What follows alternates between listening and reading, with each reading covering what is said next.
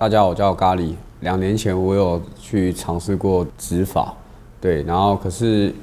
植发效果可能就是没有达到我本身设定的预期。这样，第一个就是它是看你的面积，对，那我本身的面积是属于就是蛮大的，种的时候它是就是一针一针这样去去去扎针这样，就是人家说时间越长头发就会越越长越长，可是我的是长长也长不长，然后可能就是。发质也很就很细，这样可能我本身的发质是软跟细，对，所以比如说我种在前面的头发也是偏软跟偏细。从外表一般人来看的话，其实还是看得到，就是很明显，就是你头发很少的样子，没有达到我本身预期是这样。因为我本来想说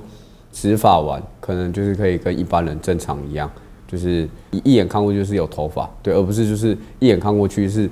哎，奇怪，你头发怎么就是看起来很。稀疏这样，有有直跟没有直的感觉是没有差多少这样，所以我觉得说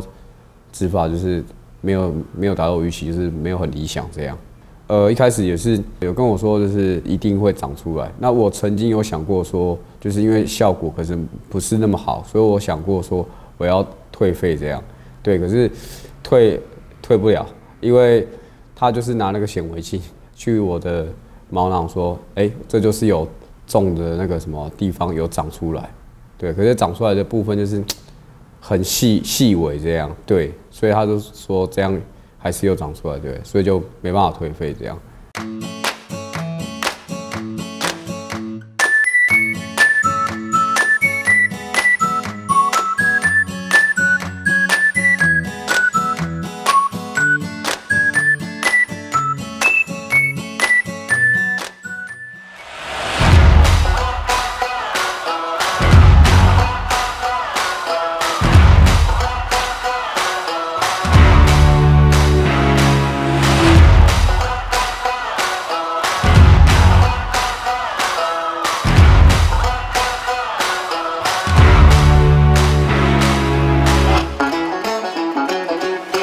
两年前，我就是在这一条那个忠孝东路的那个一间那个医美，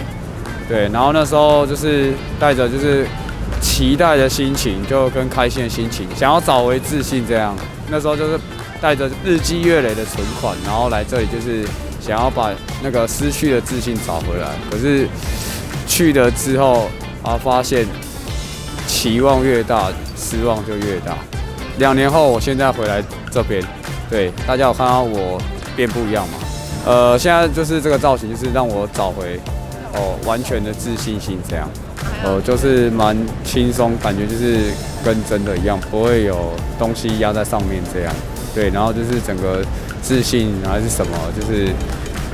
不太一样这样。对对对对，这样。对，对，先把那个吧，把那个自信找回来吧。对啊，因为因为你没有头发跟有头发，那个真的是。十万八千里，别人眼光就跟原本没有头发眼光是完全截然不同，呃，非常满意，对。